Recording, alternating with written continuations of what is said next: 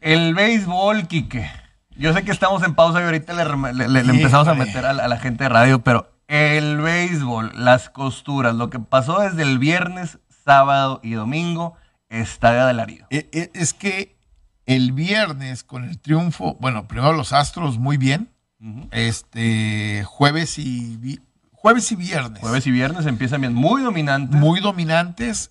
Ayer empiezan ganando y se les aparecieron las medias blancas al final y terminan siendo eh, con mucha autoridad, eh, ganando 12 por 6 el día de ayer. Hoy va Urquidi por el equipo de México, eh, por, por el equipo de Astros. México, por el equipo de Astros. Este, y es que me quedé pensando en los dos mexicanos que, que, que traigo ahí la sensación de que pudiera ser que se Un diera una de mexicanos en la Serie en la Mundial. Serie Mundial. Sería algo, sería algo extraordinario, ¿eh? Sería algo brutal, sobre todo para, para México. Creo que ahorita faltan historias de ese tipo.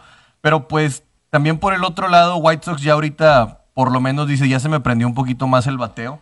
Que el- tienen mucho poder cubano, por ahí tienen al señor José Abreu, también a Eloy Jiménez. Lo que les había faltado era mucho su, su bullpen y su... Bueno, porque le pegaron a Kimber, le pegaron horrible, como Sí. lo traían zarandeado. Le siguen haciendo carreras, como quieran. Pa- para beneficio de Urquidi, la, el béisbol es de promedios. Pues cuando un día haces 12 carreras, al día siguiente te secas. Entonces, este, puede ser que para el equipo de los Astros el día de ayer medio desperdiciaron ya sobre el final. Eh, pelearon, pelearon, pelearon. El partido se puso 6 a 6. Eh, al final se descompone para, para el equipo de los Astros. Astros está a un triunfo de, de eliminar al equipo de los Medias Blancas. Y hoy Urquidi a lo mejor el promedio le va, le va a ayudar en ese sentido, ¿no? Y entre dos managers que no se quieren nada, entre Dusty Baker y Tony La Russa. Sí. Así que, híjole, la cosa pinta dura, pero creo que van a seguir siendo altas. Son, eh, Houston es un equipo que lo dijo su, su manager, dijo, nosotros le vamos a hacer swing a las pelotas que nos gusten. Y es tan claro eso que lo ves en un tipo como el Champion Bat, que es Juleski Gurriel.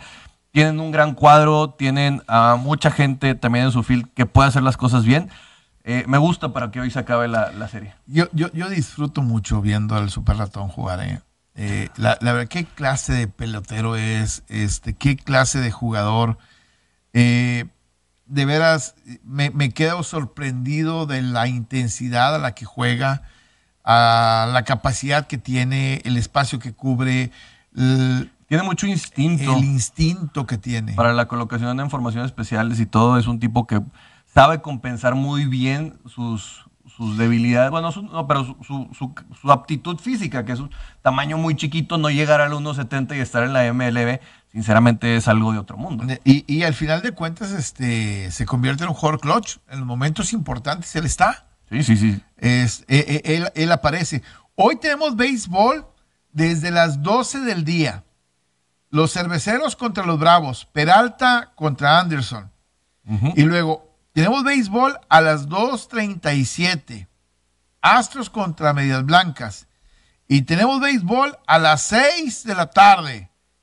Las Rayas contra Boston. Eh, contra, contra Rodríguez.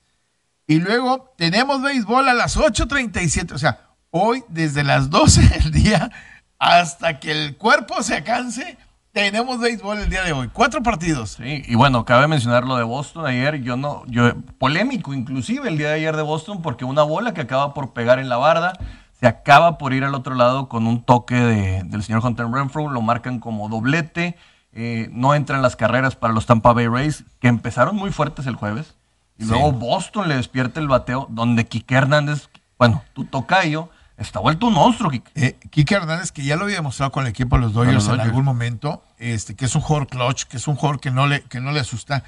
Me, me gustó lo de Boston en el segundo juego, porque se pone arriba Tampa y parecía que iba a ser, 2-5. je- iba, y sí, y sí, iba a ser jerárquico el, el triunfo y llevarse la ventaja.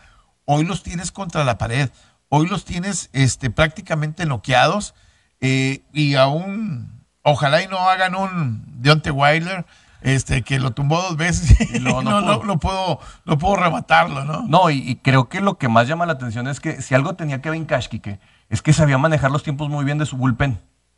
Y ahí es donde les han pegado más. Porque te traen de repente a un Cristian, a un Cristian Vázquez y también te pega. Y de repente llega inclusive un arroyo y te hace un doblete. Ah, Boston ha llegado a esta cosa de que a lo mejor no es el mejor, pero conoce tan bien sus debilidades que sabe cómo apostar a sus fortalezas. Y lo vuelvo a decir, si esto fuera una guerra y Alex Cora fuera un general, todos, todos sus soldados se mueren en la raya por él.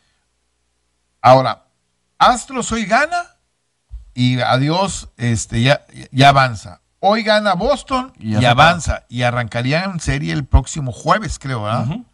Arrancarían en serie el próximo jueves. Híjole, la verdad se está poniendo muy sabroso. Gigantes y Dodgers 1-1. Sí, que, Y Bravos y Cerveceros también 1-1. que Julio Urias tiene una gran salida el sábado, donde él también pega un hit para, para remolcar y donde se ve que le pueden hacer daño a los, a los mismos gigantes. Caso similar como lo que pasa con Boston, que son dominados el primer día donde sale este señor Webb, pero luego acaban por despertar el bateo y que inclusive Cody Bellinger despierta. Ah, Lo, habíamos dicho. eh, tienes más de 100 juegos ganados, en el caso de los gigantes. Tiene más de 100 juegos ganados el equipo de Tampa. Y te saca la, la rifa el tigre, ¿no? Porque vas con el comodín, que también probablemente es el equipo más incómodo que te puedas encontrar. En este caso, los Dodgers, que ganaron más de 100 partidos también. Y el caso de, de Boston, que tuvo un cierre en un pleite de perros contra el equipo de los Yankees y con Toronto y con el equipo de Seattle. Y, emocionalmente viene curtidito y no te lo quieres topar. Entonces, este, les da la esperanza y te, y te pueden matar, ¿eh? Sí, de, de hecho, para Tampa ahorita tienen que buscar el bateo oportuno, tienen que, el equipo que jugaba todo perfecto, pues ahorita tienen que encontrar las, las cosas y sobre todo en una situación yo creo que para Tampa muy gacha porque pesa, este es un estadio que pesa el Fenway Park y más en octubre. De todo lo que pasó en el fin de semana, ¿el béisbol fue el que menos ganó? Híjole, es que está bien difícil, es que to- todos sumaron, O- o- proporcionalmente. O, todos, o todos pelearon en, en- en- en- en- en- Creo que ayer le hizo algo bueno al béisbol. Yo creo que los del béisbol rezaron, Diosito, échanos la mano. O sea, estamos perdiendo bien gacho. Tormenta eléctrica Sí. en, en Kansas.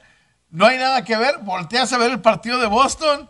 Está en dos entradas, once entradas. En ese momento, el juego es cerrado. Se define con un cuadrangular.